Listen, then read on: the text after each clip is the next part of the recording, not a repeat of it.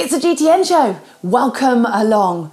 New sponsorship pairings, athletes up to interesting things whilst not racing, races themselves. These are just a few of the things that we're going to be discussing on today's show. And we have the woman herself, Lucy Charles Barclay, is going to be chatting all about her brand new bike partner. And if all of that isn't enough, we've got our usual features on top of that too.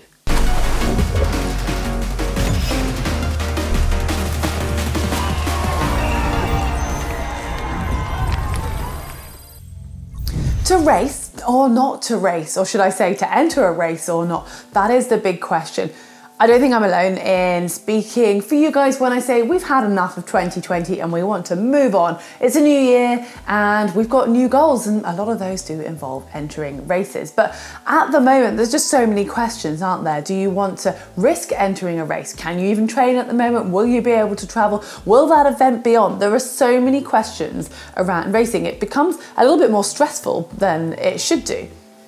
We've seen a lot of race organisers already moving their races that might have been scheduled for the spring over to the autumn. And then there's events from last year that maybe haven't even been rescheduled yet and they're still waiting. You've also got the problem of the fact that with so many events being rolled over, that a lot of those entries are full because they were from last year, so there's no new slots.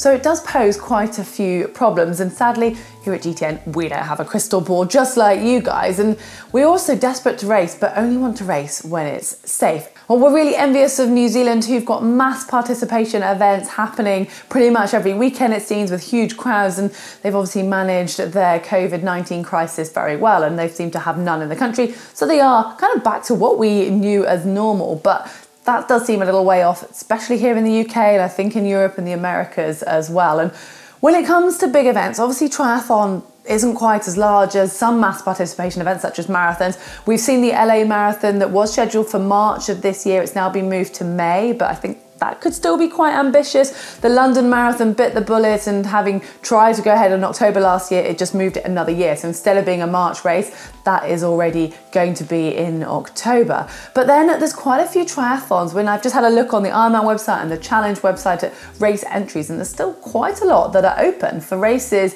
in March and April. And I must admit, it surprised me. The Oceanside um, event has actually, the 70.3 has sold out, but that's due to happen in March. And then you've got Challenge, who have uh, 70.3 in Miami that's still open for entries, and Gran Canaria in Spain that's also open. There's a few in Australia and New Zealand, and I think the countries themselves will probably control as to whether you can even travel there. So you'd obviously need to check that before you enter. But I am amazed at the moment how the maybe the events aren't quite reflecting where we are in this pandemic still. And I know we're desperate to race, but do you want to part with your money in this unknown situation? Well, like I said, I don't have any magic answers, but I have got a bit of a checklist of things that I would recommend you go through before sort of choosing and putting your money into an entry fee.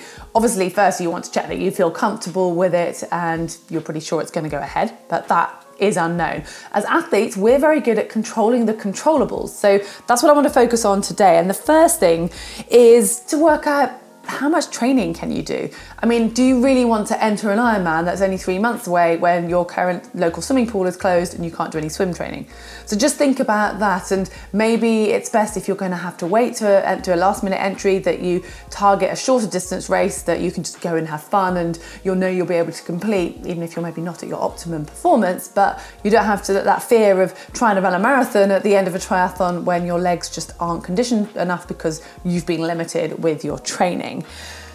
Look at the amount of travel. I think we've discussed this before, but if you can find an event that's local, that is certainly going to be better for everybody's sake. I don't think I need to explain that one. Um, then how you can adapt your training even like if it's maybe you can't swim look at doing a duathlon especially in the spring we might have some duathlons coming up and then read the small print I think that point came out last week when we talked about Ironman not refunding those races. Yes, they'll postpone them. If you can't make it the following year, though, you're going to lose your money. So do read the small print. It does tend to be local, smaller events that are more likely to give you your money back or a voucher or be able to transfer the entry to somebody else. Um, and I think that's pretty much everything.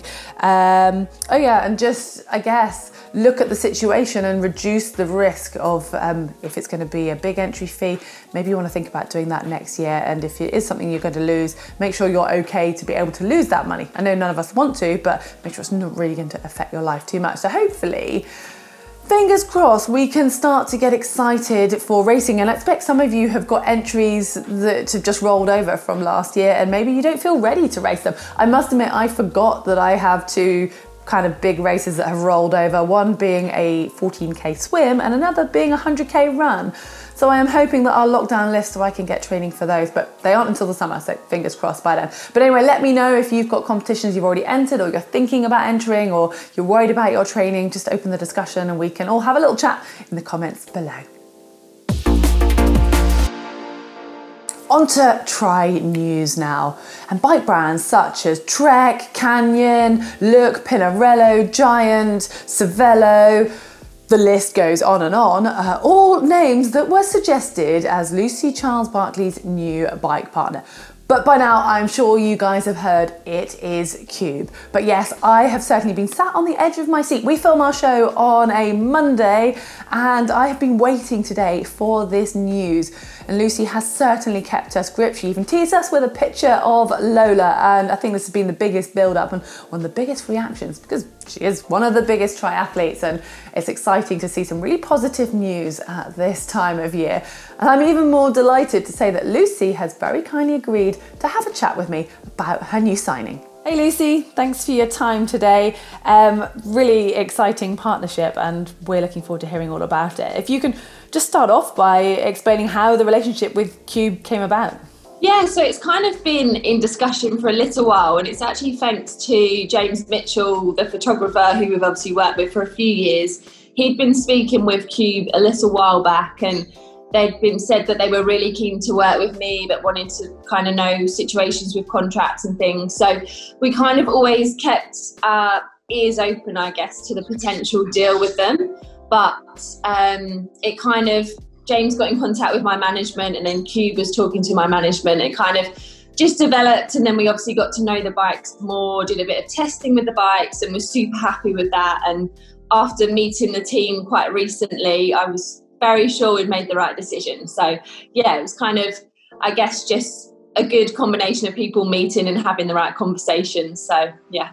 And you but you teased us with you're going to be on the fastest bike, you know, you possible, and um, you know all of this. What is it about the the Aerium that you love, and you know, is there anything that really sort of sold it for you?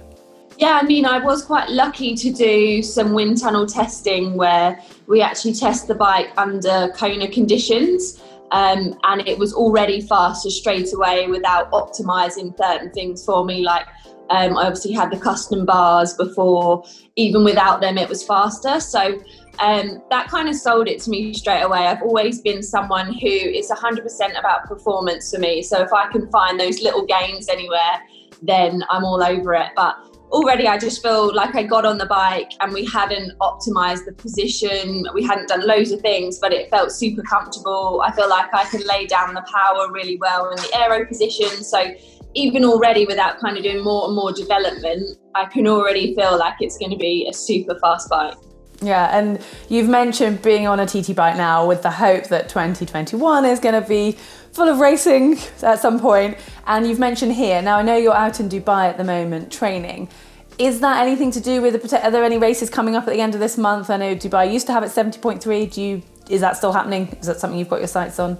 Yeah, I mean, the main reason for the trip out to Dubai was it was pretty much one of the only places where we could go and train, um, have full access to a natural swimming pool, which we've pretty much lacked for the whole of last year. So that was a big appeal, was just to get out and be able to swim. Obviously, riding the bike outside here is a little bit nicer than at home. Um, so I can put those miles in. We are still waiting to hear if the 70.3 here is going to go ahead. Um, it wasn't really on our plan, but to be honest, at the moment we're like, if a race is happening, we want to be there. So um, if this race is announced that it's going to happen, then we may stay here until that race um, and hope that it goes ahead. But yeah, to be honest, we're just happy to be in a bit of a groove and a roll with our training at the moment and keeping our fingers crossed that racing is actually going to start happening this year. We, we really hope that it does. Awesome. Well, it's we're excited to see you race on Cube, Lucy. Thanks for your time today. And yeah, fingers crossed for some racing soon. Yeah, let's keep our fingers crossed. I hope there will be soon. Well, I think the Lucy Charles Barclay announcement has probably overshadowed many of the other athletes' announcements over the past week. But this one came out just after I filmed the show last week, and it's it's a new signing to the Erdinger Alcohol Free team, and it's Nikki Bartlett, who is delighted, and we're delighted to say because she's a big um, friend of GTN that she is joining that team alongside the likes of Patrick Lange, Andreas Dreitz, Andreas Raelert, and Daniel Bleymehl. So a pretty stellar lineup, and great to see um, a Brit and yeah, a friend of our show on that team. Awesome. Um, congratulations, Nikki, and good luck for 2021. Now, not so much of a, an announcement, more the fact that they're not going to be having any more athletes. It's the BMC Pro Tri team. Um, we saw and talked about Emma Pallant leaving that team after being with them for I think three or four years, bringing them down to just seven athletes. Well, they have now announced that they're going to keep it at that seven and they're not actually going to be adding to the team. So, no exciting news there. Now, another athlete who we always keep a close eye on, I mean, I'm sure you guys do, is Jan Frodeno. And we know he wasn't racing last year, but of course, he wasn't exactly sat around doing nothing. No, he was opening a brand new hotel and cafe in the beautiful city of Girona. And as expected, it looks like a rather classy outfit. And I'm sure it will go down very well in that southern city in Spain because there's a lot of triathletes and cyclists who, as we know, love their coffee.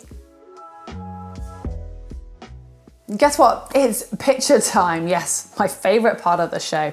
And to kick us off, we've got this one in from Corey, who um, was riding his Scott, but he's actually running in this photo, so ignore that part. But he is in Fort McMurray, Alberta, Canada. It had to be Canada, didn't it? Because it looks pretty darn chilly. Winter brick runs in the north can be one, cold, two, lonely, especially in the time of Rona and three, challenging, C point one being cold. Yeah, I think we get the point. It is very cold, but the fact you're doing brick runs, that's just dedication, isn't it? Wow. Let's hope you've got a race on the horizon to keep you motivated.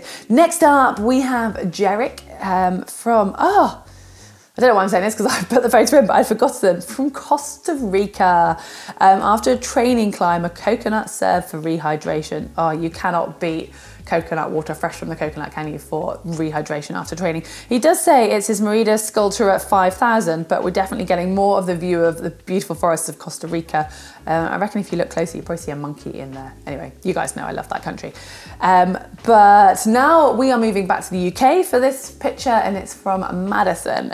And she says, oh, she's actually written it to me, which is very nice. Hi, Heather um, that don't know if she reached out to us at GTN and she was really grateful to hear back from us. She's only 13 and was due to do her first triathlon last March before the pandemic.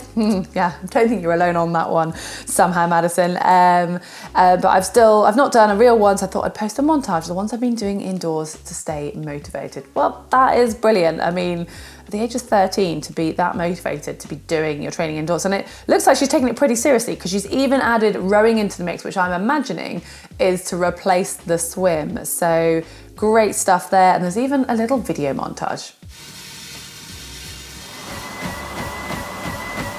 Well, wonderful to see such a lovely selection of photos. If you guys are in New Zealand or Australia and you're actually racing, don't be embarrassed, please share those because we can live vicariously through you whilst we wait for our season to hopefully kick off in a few months' time when things settle down. But whatever you're doing, if you are stuck inside training in your pain cave, share that as well. You can do all of that using the uploader, which is on screen now, or you can also find it in the description below.